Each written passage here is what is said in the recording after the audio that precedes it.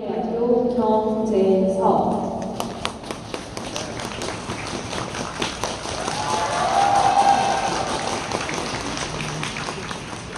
순서에 이어서 경제석 선수가 준비하고 있습니다. 경희대학교 경제석 선수 신야 숙소시에 지도를 하고 있고요.